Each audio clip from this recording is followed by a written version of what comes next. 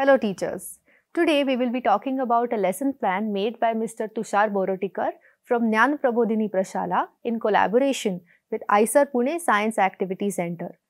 He conducted this lesson plan in his classroom and shared a few of his experiences with us. We will also be discussing those today. So, welcome to Biology Video Lesson Plans. In this video, we are going to talk about a very basic biology concept that the students learn in 6th grades. We have tried to make this uh, concept interactive and activity based for the students. The concept we are going to talk about today is the whorls of flowers. After this, the students will learn about different parts of the flowers. They will be able to identify the whorls in a flower, dissect a hibiscus flower from its outer whorl to its inner whorls, Trace the parts of a hibiscus flower precisely and draw and label a diagram of a cross section of the flower with all of its whorls. Differentiate between the whorls and describe their function. You can conduct some of these activities in the lesson plan in groups. But before you start the lesson, it is always good to remind the students of the flowers that they have seen and the basic parts of the flowers like petals or sepals Usually, students have a lot of questions about why plants flower, what does a flower do. It is always a good idea to talk about the importance and the function of the flowers before we talk about the structure. As an introduction to this concept, it is ideal to ask the students to go out of the classroom and gather different flowers. But if it is not feasible to do this, we can always ask them to bring flowers beforehand and bring them to the classroom. Most likely they will find flowers like marigold, sadafuli, lily, gerberas. Once we have all the flowers in the classroom, we can talk about their similarities and differences. At this point, we can introduce them to the different whorls of the flowers like calyx, corolla, androecium, gynoecium. After which, we can question them about whether all the flowers have all the whorls they might discover that some of them have all the whorls while the others don't. At this point, it is a good idea to talk about complete and incomplete flowers. After this brief introduction to the topic, we can ask the students to draw a schematic diagram of the flower that they have brought. Then they can compare this diagram with their friend's diagram. This will help them understand this concept even better and help you assess whether they can point out the similarities and differences between different flowers.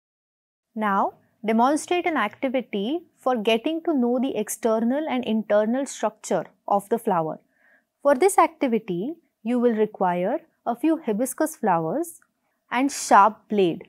You have to bisect this flower. So take a hibiscus flower and start cutting it from its tip using the sharp blade. Go on with this uninterrupted till the flower is cut into two halves. Observe now how it looks. Using this dissected flower, we can show different whorls of the flowers to the student and explain their functions.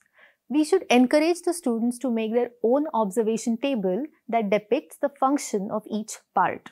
While this is being done, we can draw their attention to the arrangement of the components of the flower and explain the meaning of the word whorl.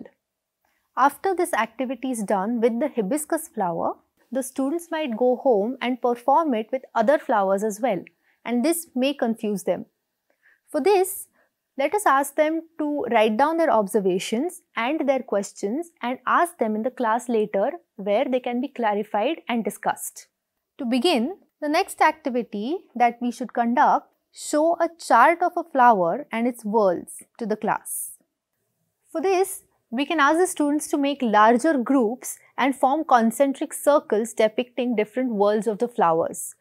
This activity is a role play of different parts of the flowers and their functions.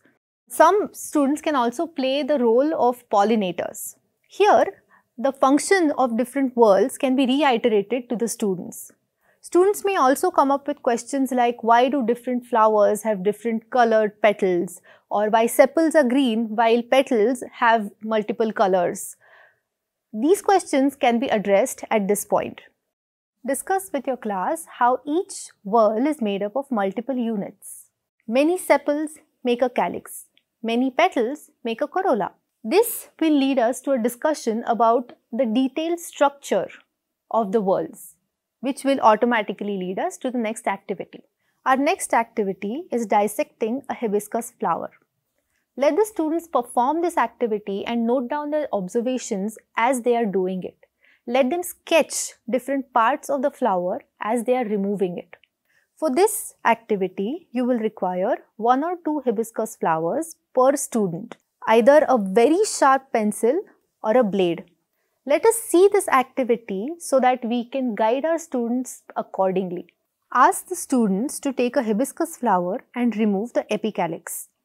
Students should remove each sepal, then each petal and observe these carefully. Once removed, let students observe the staminal tube. Using a sharp pencil or a blade, ask them to slit open the tube from bottom to top. Let them observe the stamen and the anther lobes. They can brush some anther lobes on a glass slide and observe the pollen grains which have fallen out. Tell your students that what remains now is a pistil or a carpel and let them observe the sticky stigma, the tubular style and the rounded swollen ovary. Ask them to cut off the stigma and slice the ovary vertically into two. Let them observe the inside of the ovary with a lens and spot the ovules. With this activity, you can assess their practical skills of dissection and reinforce what they have learnt about the various whorls and their arrangement on the flower. To conclude this concept, we can ask the students to make cutouts of different components of the whorls of the flower and combine them together to make paper flowers. These flowers can be displayed in the classroom as well. After all the activities have been performed, a discussion can be had with the students based on the following questions. What are the dust-like particles inside a flower? What is their function? What is the relationship between a flower and a fruit? What would happen if some whorls of the flower are missing? Can there be flowers where the androecium or the gynoecium are not present? This kind of a teaching learning method is a lot of fun for the students as well as the teachers.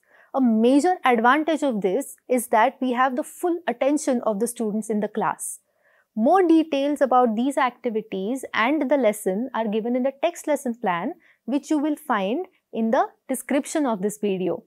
Please take a look at it and try it out in your own classroom and let us know what your experience was.